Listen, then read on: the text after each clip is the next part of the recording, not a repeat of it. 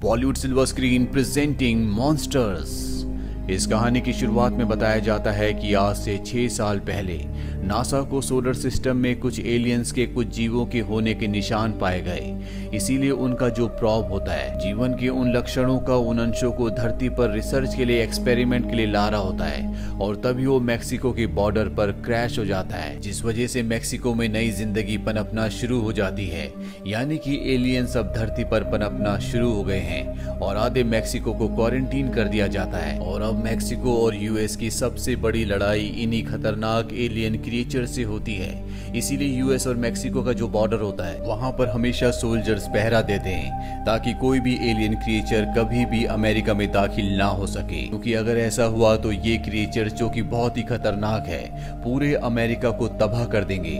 जैसे इन्होंने मैक्सिको को पूरी तरह से अब खत्म कर दिया। दरअसल मैक्सिको और यूएस के बॉर्डर पर एक बहुत बड़ी दीवार खींच दी गई है, ताकि यूएस पर कोई भी खतरा ना आए। और यहीं पर एक फ़ोटो जर्नलिस्ट को दिखाया जाता है, जिसका नाम एंड्रू है। एंड्रू अब इस पूरी चीज़ को, पूरी रिपोर्ट को कवर कर रहा होता है, ताकि दुनिया को पता चल सके कि एलियंस के साथ साथ यहाँ पर आम लोगों की ज़िंदगी कितनी कठिन है। तभी उसके बॉस का कॉल आता और उसका बॉस उसे कहता है कि तुम मेरी बेटी समानता को किसी भी कीमत पर ढूंढ के लाओ। वो मैक्सिको घूमने के लिए गई है। और अब एंड्री को ना चाहते हुए भी मैक्सिको के अंदर एंटर होना पड़ता है और वो वहाँ के हॉस्पिटल में समानता को ढूंढ लेता है, जिसके बाद ये दोनों के दोनों ट्रेन से अमेरिका की तरफ़ वापस लौट चलते हैं। लेकिन तभी ने पता चलता है कि आगे का जो ट्रैक है वो पूरी तरह से डैमेज हो चुका है। इसका कारण भी एलियंस होते हैं। अब इन्हें वापस मैक्सिको लौटना पड़ता है, जहाँ पर एक लेडी ने बताती है कि दो दिनों के अंदर अगर ये अमेरिका नहीं पहुँचे तो यहाँ का जो हवाई और पानी का यातायात है वो पूरी तरह से बंद कर दिया जाएगा, यानी कि छह महीने के लिए इस पूरी जगह को क्वारंटीन कर दिया जाएगा।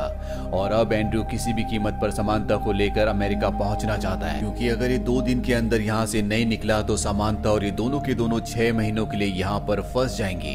अभी टीवी पर न्यूज़ देखते हैं, जहाँ पर इन्हें पता चलता है कि हर साल इसी वक्त जितने भी एलियंस है, वो ब्रीडिंग करने के लिए एक जगह से दूसरी जगह पर जाते हैं, इसीलिए बहुत ज़्यादा अग्रेसिव होते हैं। और एक यही बड़ा कारण है कि छह महीनों के लिए इस जगह को अब पूरी तरह से क्वारंटीन कर दिया जाएगा। ये दोनों की दोनों फैसला करते हैं कि ये लिफ्ट मांग कर किसी भी तरह से इस जगह से निकल जाएँगे और अगली सुबह ये दोनों के दोनों यहाँ से निकल जाते हैं। रास्ते में एंड्रयू को एक बच्चा मिलता है। वो उसकी फ़ोटो खींच रहा होता है। दरअसल एंड्रयू यहाँ के हालातों को अपने कैमरे में कैप्चर कर रहा है ताकि दुनिया को ये बताया जा सके कि एलियंस के अटैक के बाद मैक्सिको की ज़िंदगी कितनी खराब हो गई है। समानता को ये बात बिल्कुल अच्छी नहीं लगती। वो एंड्रयू से कहती है कि तुम हमेशा इसी तरह की फ़ोटो खींचते हो जहाँ पर दुख, दर्द और लाचारी हो। एंड्रयू कहता है कि मेरी मजबूरी है, क्योंकि अगर मैंने कोई अच्छी फ़ोटो खींची तो तुम्हारे पिता उसके बदले मुझे एक भी पैसा नहीं देंगे, जबकि इस तरह की फ़ोटो के बदले वो मुझे अच्छे खासे पैसे देते हैं। इसीलिए मुझे अपना घर चलाने के लिए काम करना पड़ता है। साथ ही मैं ये भी दुनिया को बताना चाहता हूँ कि यहाँ के हालात कैसे हैं। अभी दोनों के दोनों अपने सफ़र पर आगे बढ़ते हैं। और बस स्टेशन पहुँचने के बाद बस से ये उस जगह पहुँच जाते हैं जहाँ से फेरी से अपने देश यानी कि अमेरिका जा सकते हैं। एंड्रयू किसी तरह से दो फेरी की महँगी टिकट्स ले लेता है। रात को ये लोकल्स के साथ वहीं पर रहते हैं। और अगली सुबह जब एंड्रयू उठता है तो वो देखता है कि इन दोनों के पासपोर्ट्स वहाँ के लोकल्स ने चुरा लिए हैं, जिसका मतलब ये है कि अब ये फेरी से सफ़र नहीं कर सकते।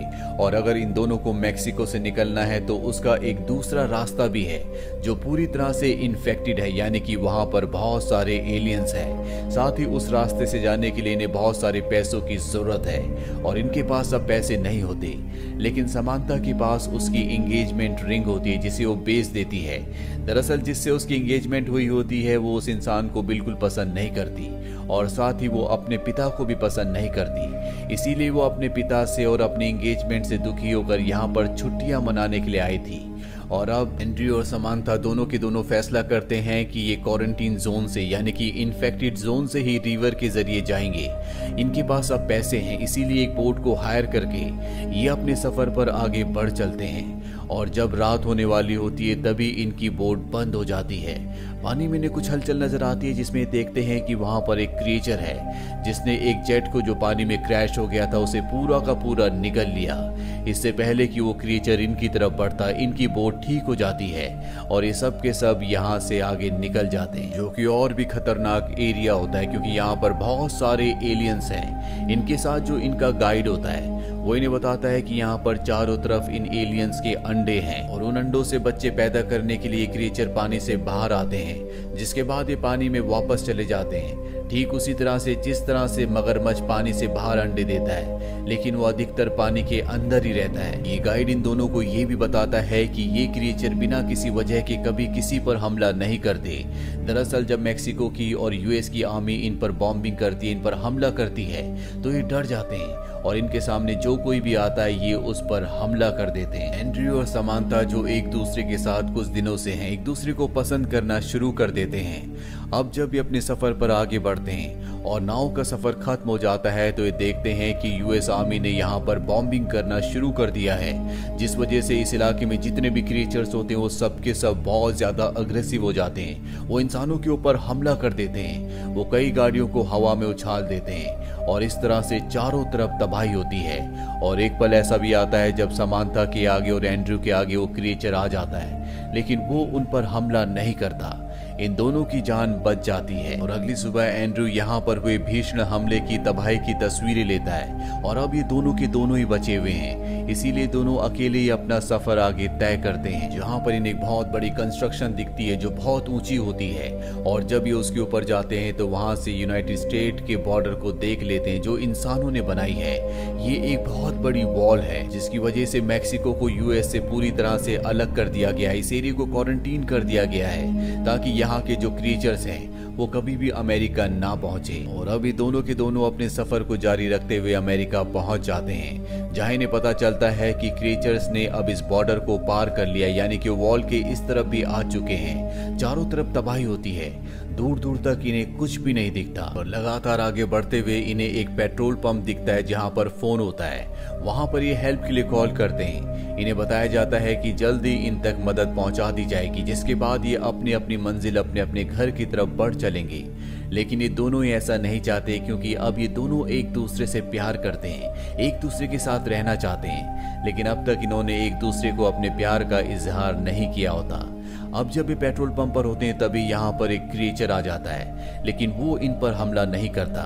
क्रिएचर तभी हमला करते हैं जब उन्हें कुछ खतरा महसूस होता है। और ठीक उसी पल यहाँ पर एक दूसरा क्रिएचर भी आ जाता है। ये दोनों क्रिएचर्स आपस में मिलते हैं और इसके बाद अलग हो जाते हैं। देखकर इन दोनों को अच्छा नहीं लगता क्योंकि ये दोनों भी अलग होने वाले हैं। इसीलिए हिम्मत करके ये दोनों एक दूसरे के करीब आते हैं, एक दूसरे को किस करते हैं। लेकिन अब यहाँ पर यूएस सोल्जर्स आ चुके हैं जो इन दोनों को, इन दोनों के घर ले जाने के लिए यहाँ पर पहुँच चुके हैं। और तभी इनके ऊपर क्रिएचर हमला कर देता है। और इस हमले में समानता बुरी तरह से जख्मी हो जाती है। एंड्रयू से उठाता और हॉस्पिटल की तरफ़ निकल पड़ता है। और यहीं पर यह कहानी, ये फ़िल्म खत्म हो जाती है। फ़िल्म ईयर 2010 में रिलीज़ हुई थी। आई पर इस फ़िल्म की रेटिंग है 6.4 उम्मीद करते हैं कि ये कहानी आपको